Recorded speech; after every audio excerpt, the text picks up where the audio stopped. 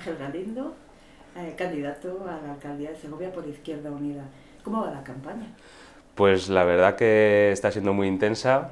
Eh, lo bueno que tenemos y que siempre destacamos en Izquierda Unida es la militancia que tenemos, la gente que participa y que podemos hacer un despliegue a base de, de trabajo humano, ¿no? de, pues para buzonear, para estar en la calle con la gente y la verdad que está siendo muy intensa y bueno, pues con ganas ya de, en parte de que acabe, ¿no? porque al final también es eh, de intensa, es cansada, pero, pero bien, con, la estamos llevando con alegría, con ilusión y, y con buenas expectativas. ¿Qué tal los debates? Bien, eh, la verdad que a nosotros nos gusta debatir, nos gusta confrontar ideas, propuestas y yo creo que es la mejor forma también de que la gente pueda pueda ver qué proponemos los diferentes partidos y las propuestas que hacemos y, bueno, y así también tener más herramientas para luego poder elegir el voto. Así que, bueno, en general estoy contento con la participación que hemos tenido en los debates, hemos podido eh, desgranar todas nuestras propuestas y yo creo que, que están saliendo bien para nosotros, vamos. Después de los generales donde Unidas Podemos concurrió mm. conjuntamente Izquierda Unida y Podemos, en estas municipales, concretamente en Segovia, concurrís eh, por separado. ¿Cómo estáis viviendo esto? Bueno, con naturalidad. Una vez que eh, eh, bueno, pues no se llegó a un acuerdo, nosotros siempre defendimos que tenía que haber una candidatura de izquierdas a la izquierda del PSOE, una candidatura unitaria, pero bueno, al final no se llegó a un acuerdo, entonces, bueno, al final hay que aceptar las cosas como vienen y, evidentemente pues lo, lo hemos vivido con pena, pero luego pues con naturalidad de aceptar una realidad y, por parte de Izquierda Unida pues siempre nos hemos presentado solos, entonces en ese sentido tampoco es ninguna novedad. Sí que hubiese sido deseable el haber podido ir juntos, pero una vez llegado a este punto pues bueno, pues nuestra propuesta, nuestro programa, la gente nos conoce y, trabajando por el proyecto de ciudad que defendemos desde Izquierda Unida. ¿Qué balance haces de los resultados del 28 de abril, tanto a nivel general como hmm. en particular? Particular en Segovia, ¿no? ¿Te refieres?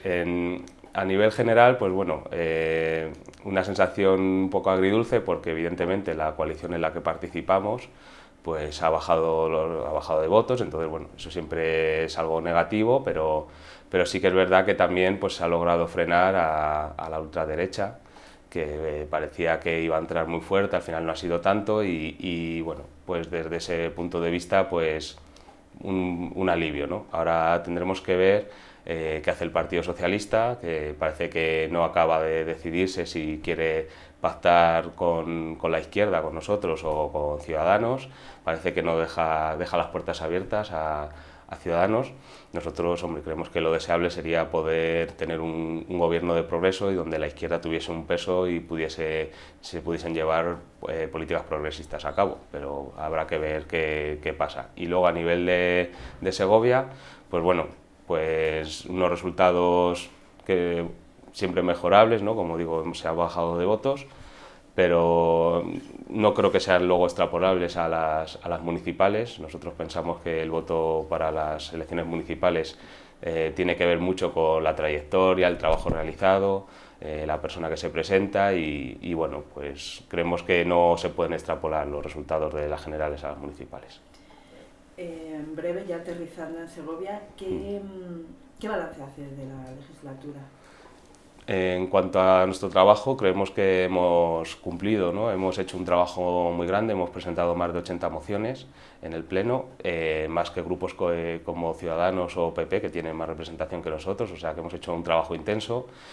Eh, también hemos hecho un trabajo, hemos tenido una acción política muy coherente, hemos, hemos sido una oposición fuerte cuando el PSOE se ha ido alejando de nosotros y llegando a hacer pactos con ciudadanos, pero bueno, también hemos hecho, un, como he dicho, 80 mociones, eso son eh, desde una posición constructiva, ¿no? propositiva, y cuando hemos estado tenido cuando el PSOE ha hecho propuestas que iban en, en, nuestra línea, pues las hemos apoyado. O sea que en ese sentido creo que hemos hecho un trabajo muy completo desde la oposición y luego también, pues aunque no tenga que ver solo con el ayuntamiento, pues hemos sido muy firmes con el tema de Caja Segovia, hemos sido el único partido que ha estado ahí peleando contra el expolio de Caja Segovia y en ese sentido pues estamos muy orgullosos de, de haber podido el, eh, trabajar de, por un tema que ha indignado tanto a los segovianos. Evidentemente el resultado no ha sido el, el que queríamos, ¿no? pero bueno, vamos a seguir peleando en ese sentido. ¿Cuál va a ser el siguiente paso? ¿En qué momento está ahora mismo eh, los pleitos de Caja Segovia? No sé hmm. si va a haber eh, segunda parte. Sí, en principio ahora, el, eh, una vez que, que se que, bueno, que no hubo una condena, una condena a, los, a los acusados, salieron libres, pues la opción que tenemos es ir al Supremo, que ya hemos anunciado que recurriremos, y eso es en el caso de las prejubilaciones millonarias, y luego está el caso del Torreón, que ese, pues, eh, después de haber recurrido al Supremo, al Constitucional, pues ahora solo nos queda recurrir a Europa, al Tribunal Europeo de Derechos Humanos, y en principio pues estamos preparando el recurso que, que anunciaremos en breve. Eh, ¿Cuáles son los principales problemas de la ciudad y las principales propuestas de Izquierda Unida? Por un lado, los problemas, yo creo que todos podemos hacer el mismo análisis, seguramente sea el desempleo y la despoblación, ¿no? Cada vez perdemos más, población por la falta de empleo y, también, bueno, pues la cantidad de personas desempleadas que, tenemos en Segovia. Dicho esto, que es el principal problema, eh, las soluciones pues, eh, desde el ayuntamiento son complicadas. No digo que no se pueda hacer nada en ese sentido, pero es verdad que las competencias en, en empleo y en, en despoblación pues son, son autonómicas y, y, que son temas que se tienen que abordar desde las varias administraciones. El ayuntamiento pues tiene unos recursos limitados y, evidentemente se pueden hacer, hacer cosas. Nosotros lo que proponemos ante estos dos grandes problemas es eh, eh, intervenir desde lo público, desde, creemos que se debe intervenir en la economía y poder crear empleo. ¿no? Nosotros hemos propuesto un plan de empleo con los remanentes de tesorería, es un dinero que tiene el ayuntamiento y que puede, que puede usar. Y, lo que pedimos, es, se han hecho otras ciudades, es invertir 3 millones de euros de remanentes de tesorería para crear 200 puestos de trabajo. Esto se hizo en otras ciudades como Sagunto en Valencia, por ejemplo, y dio muy buenos resultados. Se pudo contratar a 200 personas, que muchos de ellos parados de larga duración, y luego el trabajo que realizaban era para mejorar la ciudad, las infraestructuras, también era, eh, el trabajo se realizó para, para invertir en energías renovables, en hacer más autosuficientes los edificios municipales y creemos que, que una inversión de ese tipo podría, podría estar bien. Evidentemente no es una solución al, gran problema del desempleo, pero bueno, creo que desde el ayuntamiento se pueden hacer cosas y hay que utilizarlo. También defendemos las cláusulas sociales en la, en la contratación pública. El ayuntamiento emplea 15 millones de euros al año para contratar empresas para que realicen servicios y las cláusulas sociales lo que hacen es que no solo se valore la cuestión económica, ahora mismo la empresa que lo oferta más barato, digamos, es la que se lleva el contrato, nosotros lo que pedimos es que haya cláusulas que tengan que ver con la calidad del empleo que da esa empresa, con el respeto al medio ambiente y luego también esas cláusulas sirven para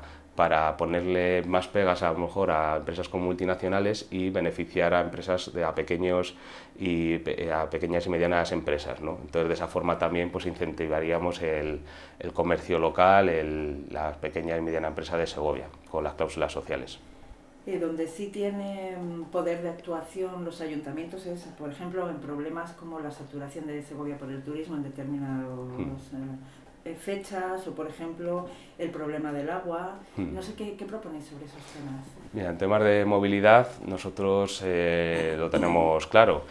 Lo primero que hay que hacer es un análisis serio, ¿no? porque evidentemente el día 2 de mayo hubo una saturación de tráfico en Segovia, pero fue el día 2 de mayo.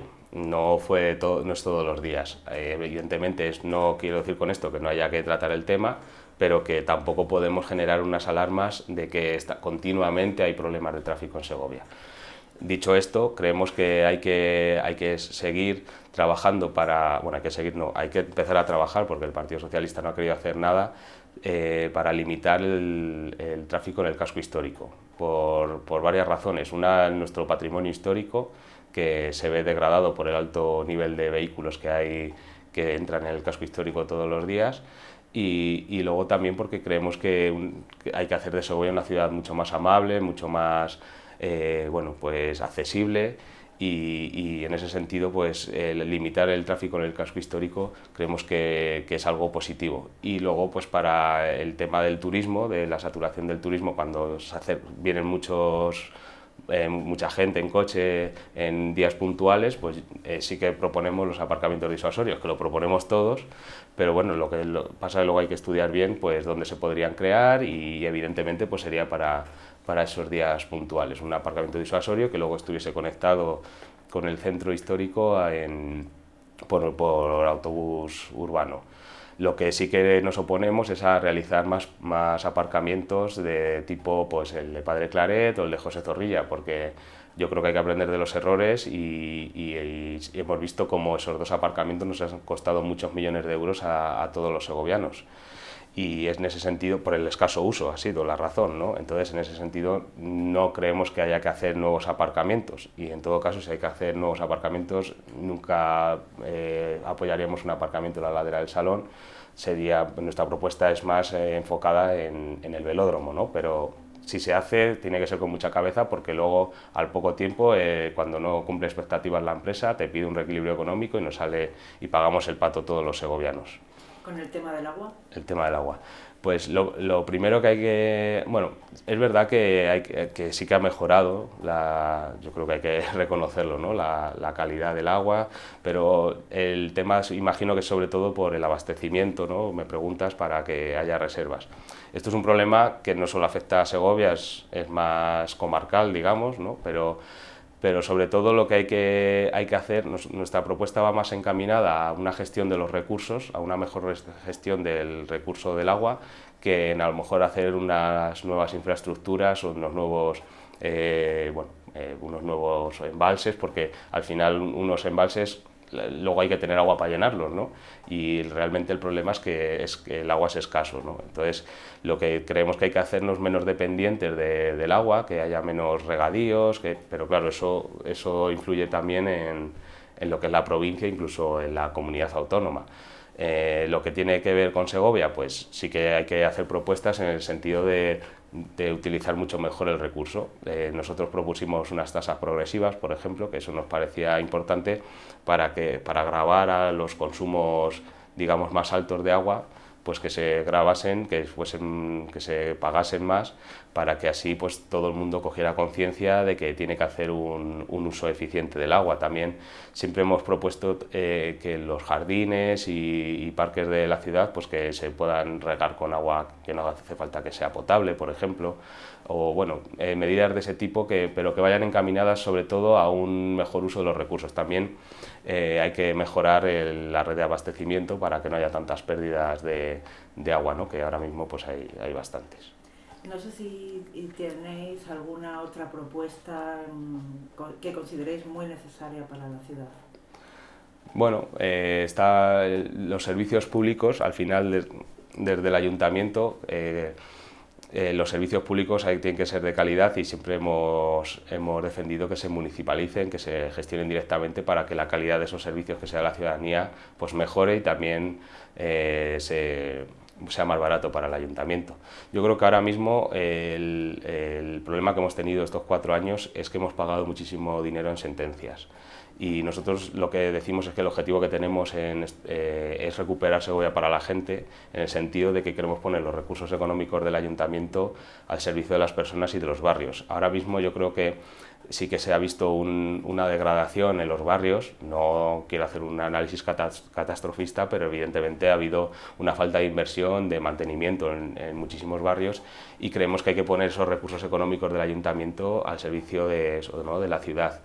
Eh, ese atasco que hemos tenido por pagar tantas sentencias, esas inversiones tan condicionadas, pues creemos que se tiene que revertir y que ahora hay que poner pues todos esos recursos económicos en, los barrios y ahí serían las infraestructuras, ¿no? Y, a lo mejor no es una cosa de decir hay que arreglar este barrio entero, pero sí que hay muchos desperfectos del día a día y eh, no me atrevo a decir una cosa en concreto, decir hay que hacer pues un, eso, pues un aparcamiento, un, no, o sea, creo que hay que, hay que ir ahora eh, a, lo concreto y, en los barrios cuando hablas con los vecinos pues, pues tienen muchas necesidades de accesibilidad, de iluminación, de abastecimiento, pues yo creo que al principio de este próximo mandato hay que centrarse en eso, ¿no? en esas pequeñas cosas que se han dejado de atender por atender las, las sentencias millonarias que hemos tenido que pagar.